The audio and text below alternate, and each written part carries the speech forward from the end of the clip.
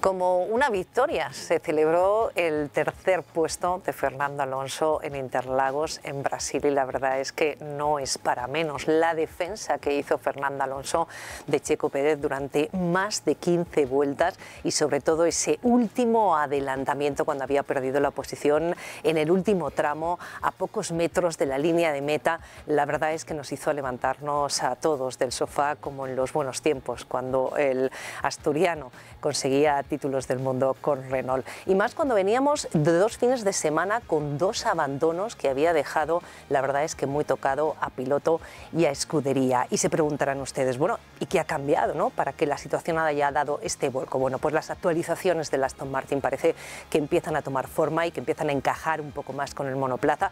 También el trazado era mucho más favorable a la naturaleza misma del Aston Martin y por otro lado que Mercedes y Ferrari estuvieron un paso por detrás respecto a los otros grandes premios. Así la cosa, no sé si se hizo el milagro, pero sí el espectáculo. Los focos no miraban a Verstappen, que sigue generando récords en las victorias, ni tampoco a Lando Norris, que parece que se ha sentado en el podio.